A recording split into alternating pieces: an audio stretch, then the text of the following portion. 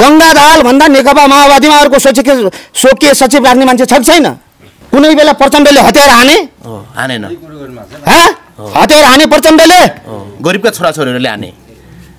दलितले हान्यो मगरहरूले हाने गुरुङले हाने बाहुन जति जम्मै एक ठाउँमा भएर चाहिँ मेन कमान्डर भएर लडेका छन्। माओवादीको हरेक कमान्डरले भन्छ हामीले गरेर बोल्न पायौँ रे।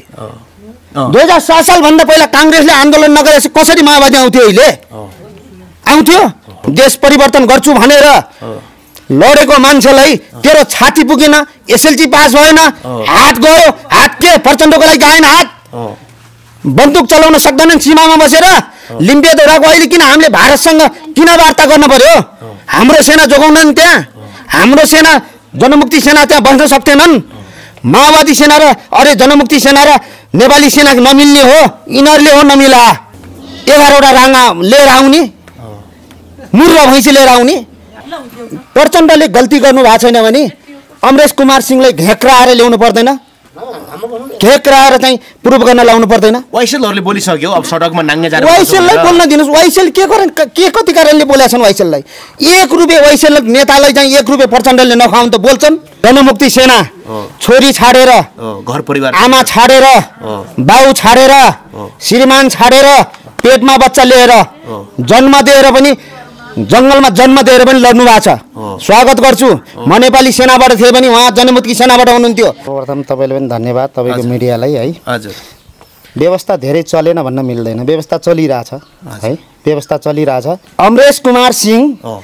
केही अघि कुनै पार्टी सिआइबी उनलाई भारतको सिआइबी करेक्सन भारतको उनलाई के भन्थ्यो त? एउटा चाहिँ पश्चिमीको एउटा चाहिँ इन्ट भन्थ्यो तिनलाई। र अहिले आएर उनले चुनाव जिते। के कति कारणले उनको कुरा मिलेन? प्रचण्डले ल्याएका हुन् अमरेश कुमार सिंहलाई। प्रचण्डले ल्याएका हुन्। प्रचण्डले प्रचण्डको एकदम काखमा गोदमा सुत्ने हुन् अमरेश कुमार सिंह। अहिले किन यस्तो भयो फेरि? अहिले त अब के प्रचण्डले सोध्नुपर्छ किन भए हो हिसाब किताब मिलेन? हिसाब किताब मिलेन। सुन प्रकरण मिलेन हो। त्यसपछि आएर तपाईँको गएर भोटानी शरणार्थी प्रकरणमा मिलेन हो कुरा। भोटानी शरणार्थी र सुन प्रकरणमा त हामीले खाँदैनौँ अहिले चाहिँ यो चाहिँ गएर चाहिँ एनसेलमा त खान देऊ न। भन्दाखेरि कुरा नमिल्या होला। एनसिएल काण्डमा जसरी अमरेश कुमार चाहिँ बोलिराखेका छन् यो चाहिँ हिसाब किताब नमिलेरै हो भन्ने तपाईँको मनसाय हो। अमरेश कुमार हिसाब किताब नमिलेर पन्चानब्बे पर्सेन्ट। हजुर। त्यसपछि एउटा चाहिँ देशको चाहिँ एउटा देशको चाहिँ एउटा राजनीतिज्ञ देशको माया गर्ने एउटा चाहिँ देशको चाहिँ एकदम ठुलो फ्यान भएर पाँच पर्सेन्ट हो। हिसाब किताब नमिलेरै ठुलो कुरा हो। हिसाब किताब नमिलेर ठुलो कुरा हो। हिसाब किताब नमिलेर ठुलो कुरा होइन भने अदालतमा मुद्दा दायर गरिसक्नु भएको छ। हिजो पेसी थियो। हिजो पेसी थियो। हिजोभन्दा आजभन्दा दुई दिन अगाडि अमरेश कुमारको पेसी थियो। हामीले न्युज हेरिरहेछौँ। अमरेश कुमारको पेसी भएन। अमरेश कुमारको पेसी नभएपछि जुन पनि प्रुफ छ अदालतमा पेस गर्नुभन्दा अगाडि मिडिया कर्मीलाई दिएपछि मिडिया कर्मी त देशको कतिवटा कति कति अङ्गमा पर्छ? तपाईँले मलाई भन्नुहोस्। चौथो अङ्ग चौथो अङ्गमा पर्ने मान्छेलाई ल मैले तपाईँलाई दिएँ। यो चाहिँ मैले उहाँ पेस गर्छु। भन्ने हो कि? म देखाउँछु म देखाउँछु देखाउँछु भन्ने हो त्यो त बार्गेनिङको आधार हो मात्रै भन्छ मार्केटिङको आधार होइन। अब यो चाहिँ एनसिएलबाट मलाई पनि अलिकति आउँछ भने म चाहिँ चाहिँ देखान्न। जनतालाई सार्वजनिक गरिसकेको छु तिम्रो एउटा अडियो। आउँछ भने म गर्दैन भनेर नदेखाउनु भयो कि चाहिँ उहाँ झुटो बोल्नु भयो यदि झुटो बोल्नु भयो यदि प्रचण्डको मुटुक छ भने अमरेश कुमार सिंहलाई कारवाही गर्नुपर्छ। तत्काल। तत्काल कारवाही गर्नुपर्छ। प्रचण्डको परिवारलाई निकै आरोप लगाउनु भएको छ अमरेश कुमार सिंहले छोरीलाई समेत ग- गङ्गादारलाई समेत। एउटा कुरा के भन्छु भनेपछि तपाईँको राजतन्त्र दुई हजार सात सालमा चाहिँ काङ्ग्रेसले आन्दोलन गर्यो त्यसपछि चाहिँ के के भएर चाहिँ अहिले हाम्रो लोकतन्त्र आयो? लोकतन्त्र आउँदाखेरि कुन नेताले भन्यो तपाईँ प्रधानमन्त्री हुनु हुनुहुन्छ भने तपाईँकै छोरालाई स्वकीय सचिव राख्नु भन्ने के छ? तपाईँको छोराभन्दा अलिकति क्वालिटीमा कोहीले चाहिँ तपाईँको अलिकति पार्टीमा योगदान गरेको मान्छे छैन स्वकीय सचिव राख्नलाई? छैन? गङ्गा दाहाल भन्दा नेकपा माओवादीमा अर्को सोचे स्वकीय सचिव राख्ने मान्छे छ कि छैन? थुप्रै छन्।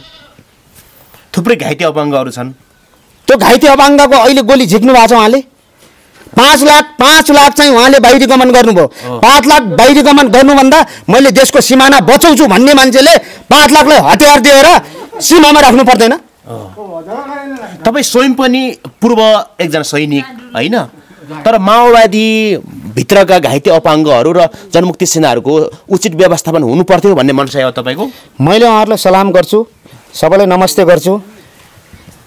एउटा देशको परि देशको एउटा सत्ताको एउटा चाहिँ एउटा चाहिँ आफ्नो चाहिँ देशमा चलेको सत्तालाई परिवर्तन गर्न लाग्नुभएको उहाँ जनमुक्ति सेनाहरू। जनमुक्ति सेना छोरी छाडेर घर परिवार। आमा छाडेर बाउ छाडेर श्रीमान छाडेर पेटमा बच्चा लिएर जन्म दिएर पनि जङ्गलमा जन्म दिएर पनि लड्नु भएको छ।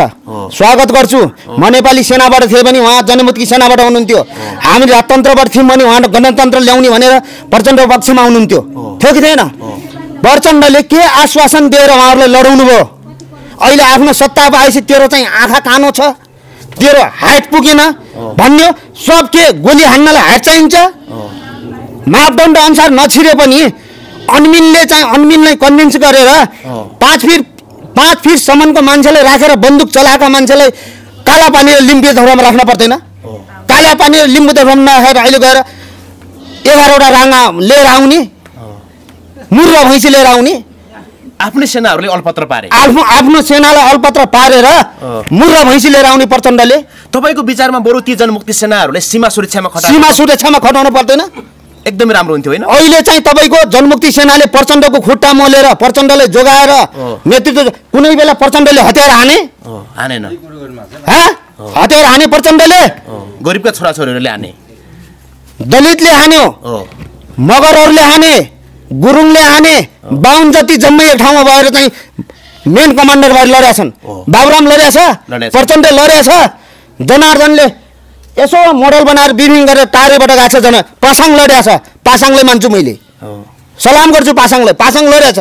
बाहुन जति बाहुन र ठकुरीको लडाइँमा हामी अँ, त्यत्रो चाहिँ पाँच लाख कति हजार रे?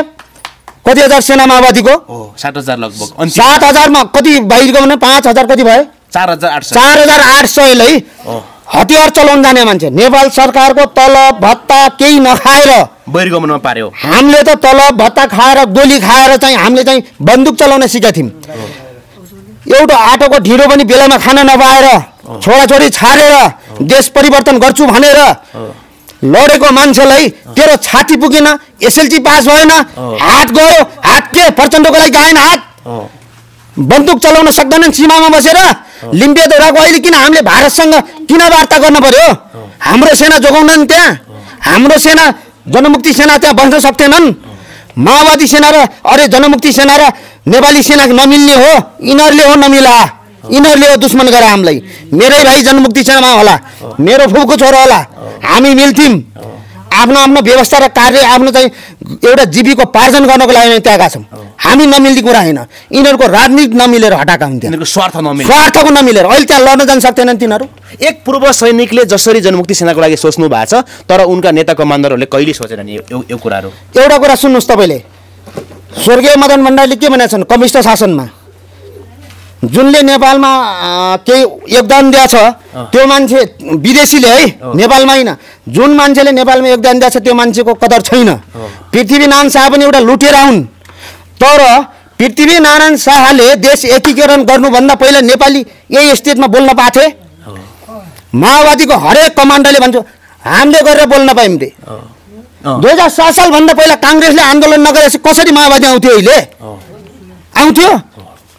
सबैको एउटा के छ इँटाको जस्तो लाएर आइरहेछ। योगदान छ। योगदान छ। माओवादी माओवादीका हरेक कमरेड प्रचण्ड हरेक जिल्ला केन्द्रदेखि जिल्लासम्मका एउटा चाहिँ गाउँसम्मका नेतालाई मैले सम्मान गर्छु। किन मेरो स्वार्थ छैन।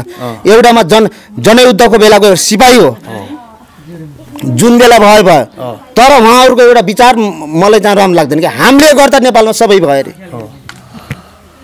हामीले गर्दा सबै भयो होइन काङ्ग्रेसले दुई हजार सात सालमा आन्दोलन गर्यो नि त त्यसले भएर काम कालो काङ्ग्रेस बसोस् भन्छन्। जनतालाई दुःख नदिएर नल्याएर शासन अहिले यो यो स्टेजमा आम त्यो स्टेजबाट काङ्ग्रेसले हतियार उठाएर पो अहिले हामीले हतियार उठाउन पर्छ भनेर प्रचण्ड यिनीहरूले जाने होइनन्। जनमोर्चाबाट फुट्या प्रचण्ड होइनन्। पहिलो अधिवेशन दोस्रो अधिवेशन पाँचौँ अधिवेशनमा जनमोर्चाले डाक्टर बाबुराम भट्टराई र प्रचण्डलाई नबोलाएपछि जनमोर्चाबाट जनयुद्धको लागि दुई हजार बाहन्न साल फागुन एक गतेबाट यिनीहरूले जनयुद्ध घोषणा गरे हुन्। यिनीहरू चम्किरहने केन्द्रका नेता हामी वाइसेलका नेता पनि चम्किरहने नेपालमा कानुन लाग्दैन यिनीहरूलाई प्रचण्डको धाग लगाइरहने केपी ओलीको धाग लगाएर महेश चप चम्किने तरुण दलको धाग लगाएर गगन थापा चम्किने हुन्छ। यो अहिले सडकमा राजतन्त्रको पक्षमा जति पनि मुद्दाहरू छन् नि आवाजहरू छन् दुर्गा प्रसाईहरूले नेतृत्व गरिराखेका छन् र राजेन्द्र लिङ्गदेनहरूले यो जनमतलाई चाहिँ तपाईँ कसरी लिनुभएको छ? राजेन्द्र लिङ्गदेन कस्ता मान्छे हुन् भनेपछि जति पनि अहिले रापरपाका मान्छे छन् यिनी छन् नि। यिनी कस्ता हुन् भनेपछि ताकपरे तिवारी नत्र गोतामी।